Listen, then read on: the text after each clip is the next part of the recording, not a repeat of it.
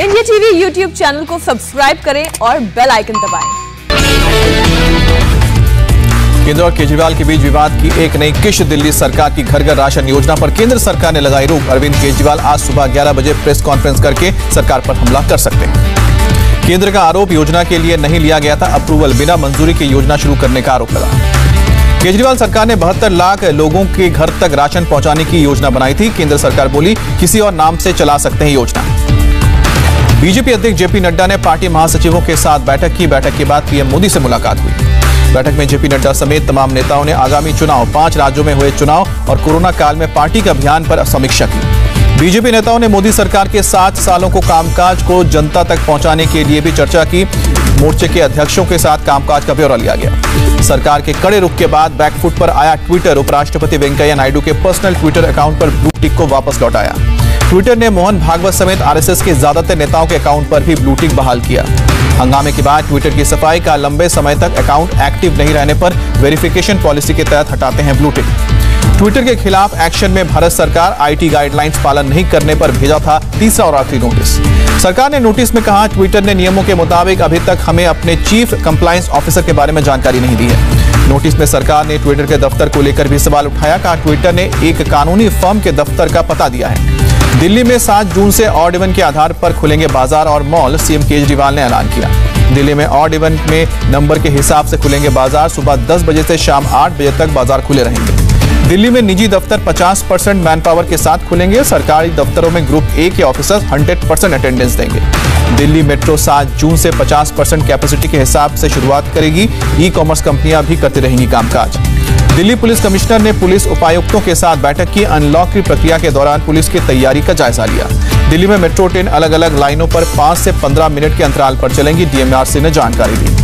दिल्ली के मशहूर कालकाजी मंदिर को खोला गया। श्रद्धालुओं के लिए दर्शन की इजाज़त, प्रसाद नहीं चढ़ा सकते हैं भक्त। यूपी के बुलंदशहर और बरेली में भी अब कोरोना कर्फ्यू खत्म। प्रदेश में अब तक सड़सठ जिलों से हटा है कोरोना का कर्फ्यू। बीएमसी ने ब्रेक द चेन के तहत अनलॉक की गाइडलाइंस जारी की। केवल तीन कैटेगरी के अनुसार मुंबई में छूट और पाबंदी रहेगी।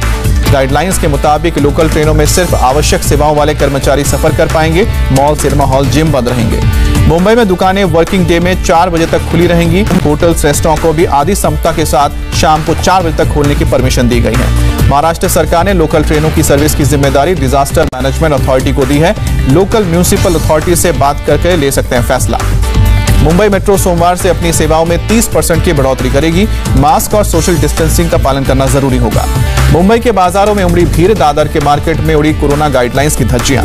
मुंबई में यूथ कांग्रेस के नेताओं ने कोविड नियमों का उड़ाई धज्जियाँ। पेट्रोल, डीजल की बढ़ती कीमतों के खिलाफ प्रदर्शन करने सड़कों पर उतरे। महाराष्ट्र अनलॉक होने पर बीजेपी ने की मंदिरों को खोलने की मांग, साथ ही धार्मिक कार्यक्रमों के आयोजनों की इजाज़त मांगी। तमिलनाडु में कुछ छूट के साथ 14 जून तक बढ़ाया गया है लॉकडाउन। 30 परसेंट कैपेसिटी के साथ खुलेंगे सरकारी दफ्तर। हिमाचल प्रदेश में 14 जून तक बढ़ाया गया कोरोना कर्फ्यू ज़रूरी सेवाएँ छूट छूट रहेंगी। गोवा में 14 जून की सुबह सात बजे तक लॉकडाउन बढ़ाया गया, सीएम प्रमोद सावंत ने जानकारी दी। इंदौर में कोरोना वैक्सीनेशन सेंटर पर कार्यकर्ताओं द्वारा जन्मदिन मनाए जाने पर माफ़ी मांगी बीजेपी नेता माधुरी जायसवाल ने। इटावा जेल से जमानत पर छूटने के बाद समाजवादी पार्टी के नेता ने निकाला काफिला। नियम तोड़ने पर पुलिस ने एफआईआर दर्ज की। धर्मेंद्र यादव ने सौ से ज़्यादा गाड़ियों के साथ जुलूस निकाला। 200 लोगों पर मुकदमा दर्ज हुआ। कोरोना के सेकेंड वेव में 646 डॉक्टर्स की मौत, इंडियन मेडिकल एसोसिएशन ने जारी किया आंकड़ा। देश में दम तोड़ रही है कोरोना की दूसरी लहर। 24 घंटे में करीब एक लाख चौदह हज़ार बीमार, दो हज़ार छह सौ उनहत्तर की मौत हुई। तमिलनाडु में इक्कीस हज़ार से ज़्यादा लोग संक्रमित, करीब साढ़े बत्तीस हज़ार लोग रिकवर हुए।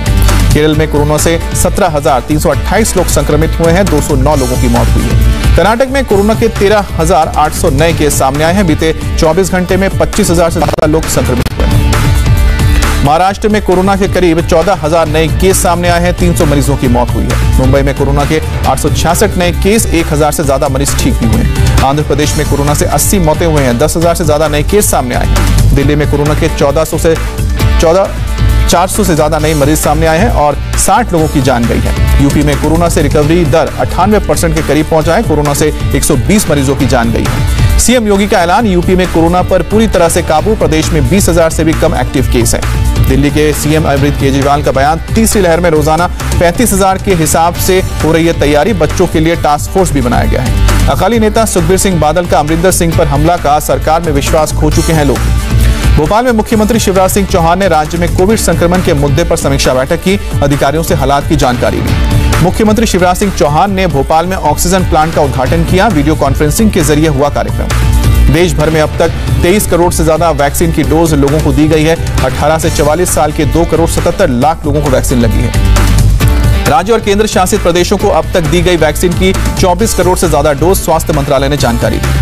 नागपुर में बच्चों पर वैक्सीन ट्रायल की प्रक्रिया शुरू। कुछ बच्चों का हुआ है चयन चयन किए गए बच्चों को रविवार दी जाएगी वैक्सीन की पहली डोज। मुंबई में दो सेंटर पर 45 प्लस उम्र वालों का वैक्सीनेशन हुआ।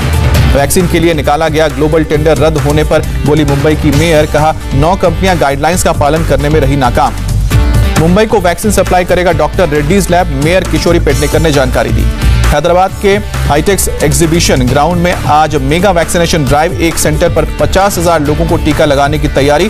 सुबह आठ से रात नौ बजे तक टीकाकरण होगा। यूपी में अब तक एक करोड़ बासठ लाख से ज़्यादा टीकाकरण हुआ है। पैंतीस लाख पचानवे हज़ार से ज़्यादा लोगों को दूसरी डोज भी लगी है। तमिलनाडु बीजेपी महिला मोर्चा की अध्यक्ष वनाथी श्रीनिवासन की मांग, तमिलनाडु को वैक्सीन का कोटा बढ़ाए केंद्र सरकार। कोलकाता म्यूनिसिपल कॉर्पोरेशन ने वैक्सीनेशन ऑन व्हील्स अभियान को लॉन्च किया है। बाजारों में काम करने वालों को लोगों को टीका लगेगा।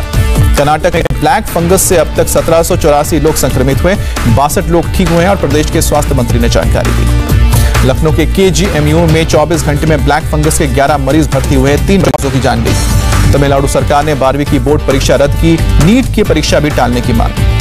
हिमाचल प्रदेश में रद्द की गई है बारहवीं की बोर्ड परीक्षा, कोरोना को देखते हुए फैसला। हज यात्रा को लेकर बोले केंद्रीय मंत्री मुख्तार अब्बास नकवी, सऊदी अरब के फैसले के साथ भारत खड़ा है।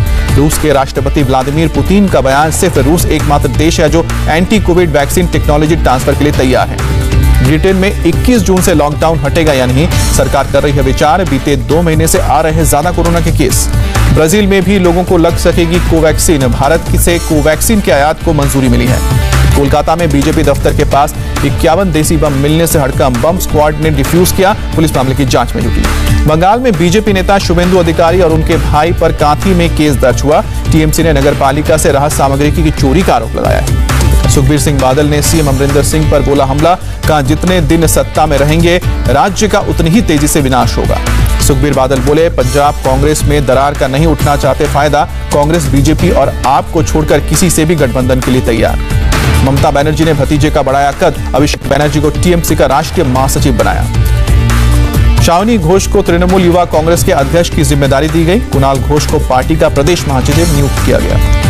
टीएमसी नेता पार्थ चैटर्जी का बयान, एक व्यक्ति पर पार्टी के एक ही पद की ज़िम्मेदारी होगी। यूपी में 12 जुलाई से पहले कराए जाएँगे जिला पंचायत अध्यक्ष के इलेक्शन। महाराष्ट्र के पूर्व सीएम फडणवीस ने कहा, अजीत पवार के साथ मिलकर सरकार बनाना गलत था। उद्धव ठाकरे का बयान, महामारी के दौर में सत्ता की लालच करना अराजकता को जन्म देगी। विश्व पर्यावरण दिवस पर प्रधानमंत्री मोदी ने किया किसानों के साथ संवाद, ऑर्गेनिक खेती पर ज़ोर। पीएम मोदी ने इथेनॉल को 21वीं सदी के लिए भारत के लिए बड़ी प्राथमिकता बताया। पेट्रोल में 20 परसेंट इथेनॉल मिलाने का लक्ष्य 2025 में हासिल होगा। विश्व पर्यावरण दिवस पर पश्चिम बंगाल का हावड़ा ब्रिज हरे रंग की रोशनी मनाया। प्रदर्शनकारी किसानों ने मनाया संपूर्ण क्रांति दिवस, कोरोना नियमों की धज्जियाँ उड़ाई। किसान कानून के खिलाफ पंजाब में किसान यूनियंस का प्रदर्शन। हरियाणा के सीएम खट्टर ने प्रदर्शनकारी किसानों को चेतावनी दी। कहा, कानून व्यवस्था की हालात बिगड़ी तो कार्रवाई होगी। भारत चीन विवाद पर बोले रूस के राष्ट्रपति पुतिन, मोदी और शी जिनपिंग जिम्मेदार नेता विवाद सुलझाने में सक्षम पुतिन ने कहा, कोई क्षेत्रीय ताकत भारत रूस के मामलों में दखल ना दे। जम्मू कश्मीर के कुलगाम में एक गाड़ी में मिला हथियारों का जखीरा। दो लोग गिरफ़्तार हुए। श्रीनगर में आतंकियों की साजिश नाकाम पुलिस पोस्ट के पास बॉक्स में रखे थे आईडी को डिफ्यूज किया गया। पश्चिम बंगाल के 24 परगना के भाटपाड़ा इलाके में बदमाशों ने जमकर बमबाजी की। कई घरों और दुकानों में तोड़फोड़ की, मौके पर पुलिस बल तैनात। हरियाणा के रोहतक में कथित संपत्ति विवाद में एक अज्ञात शख्स ने महिला की हत्या की। पुलिस जमीनी विवाद के अलावा दूसरे पहलू की जाँच कर रही है। नागपुर में सोशल मीडिया पर वीडियो देख 19 साल के लड़के ने बनाया बिल्डर के परिवार को बंधक। पुलिस ने सभी को रेस्क्यू किया।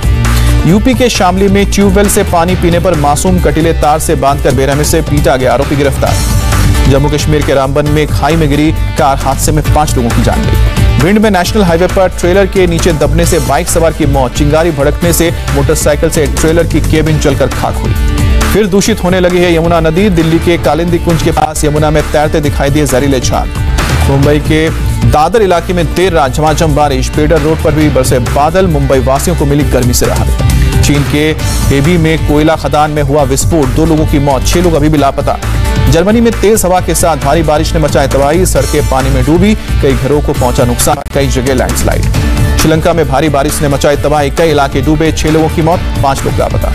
फ्रेंच ओपन के चौथे राउंड में पहुँचे राफेल नडाल। नोवाक जोकोविच की बोरिंग्स को हराकर चौथे दौर में पहुँचे। नमस्ते, मैं हूँ मीनाक्षी जोशी। वीडियो और खबरों से अपडेट रहने के लिए India TV YouTube channel subscribe करें। बेल आइकन दबाना ना भूलें। जुड़े रहें इंडिया टीवी के साथ।